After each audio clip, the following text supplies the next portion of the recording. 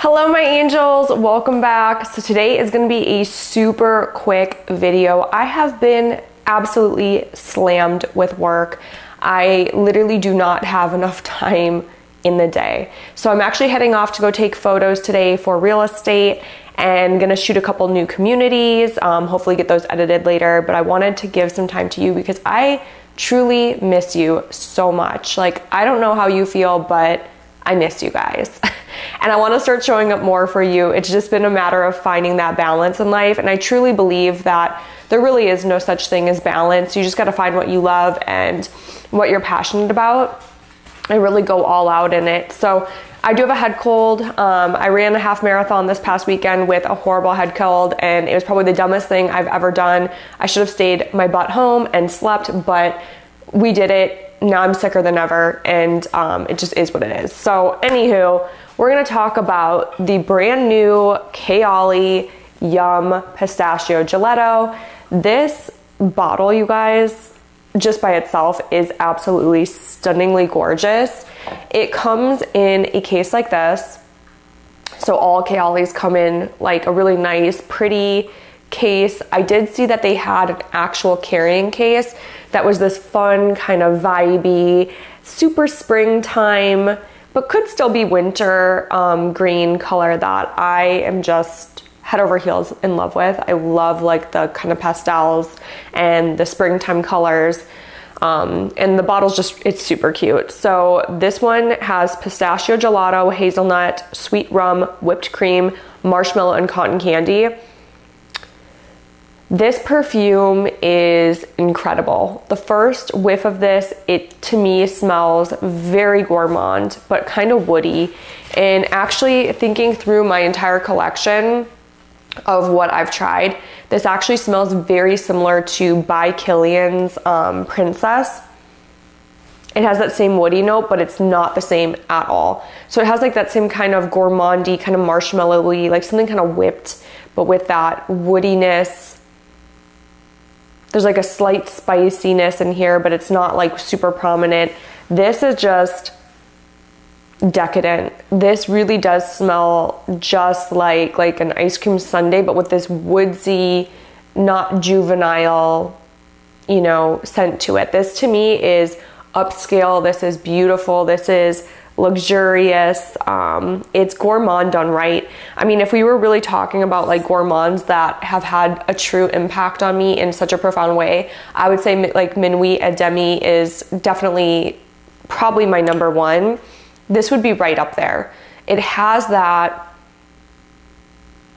just essence to it where you really can smell the pistachio. Like, especially upon first spray, like me just spraying it right now that pistachio is like front and center and then it has that like gorgeous whipped cream that comes in and kind of gives it this warmth and this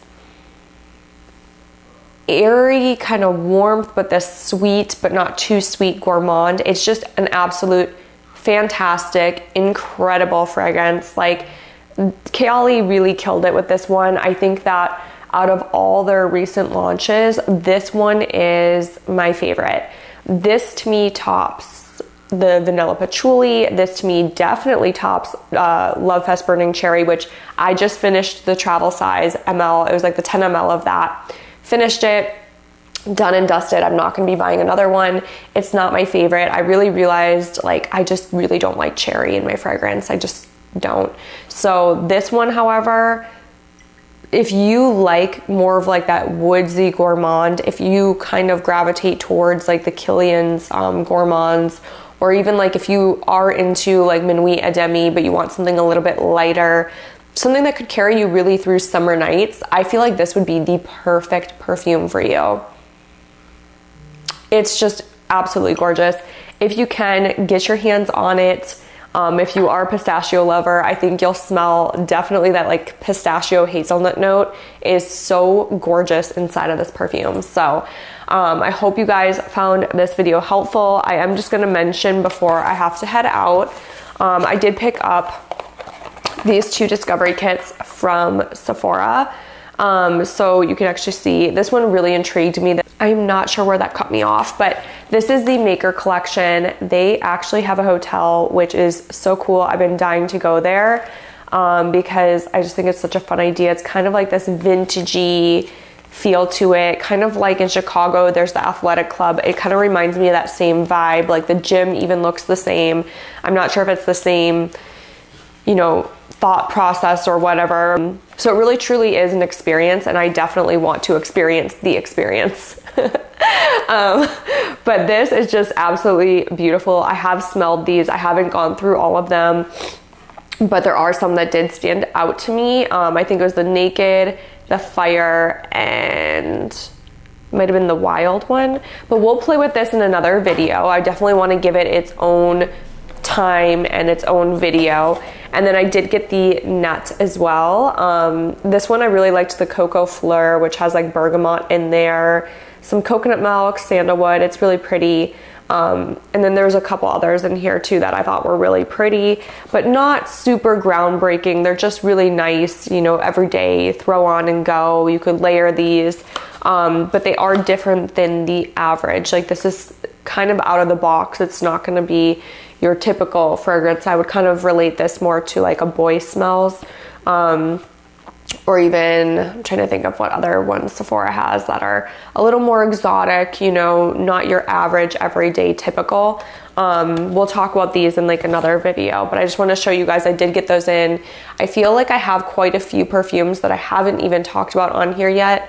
Um, I did just get in Tommy Girl and I did get in um, it's so funny that I'm even that I even bought those, but I bought uh, Marschino Marciano's uh, Love, something like Love is Love or something. I don't know.